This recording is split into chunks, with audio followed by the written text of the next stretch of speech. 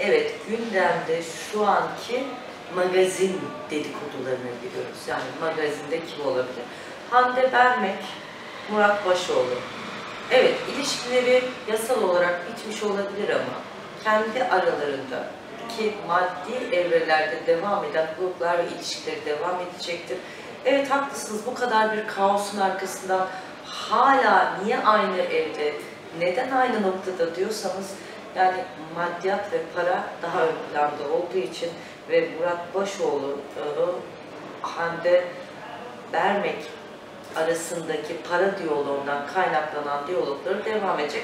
Bir de e, Hande enteresan bir hanımefendi Hande Hanımcığım. Yani bütün hataları affeden bir yapıya sahip. Ve Murat Başoğlu'nun yaptığı saçmalıkları, yaptığı terbiyesizlikleri bile affedecek kadar aşık bir insan. Ama şu anki tek sorunları para.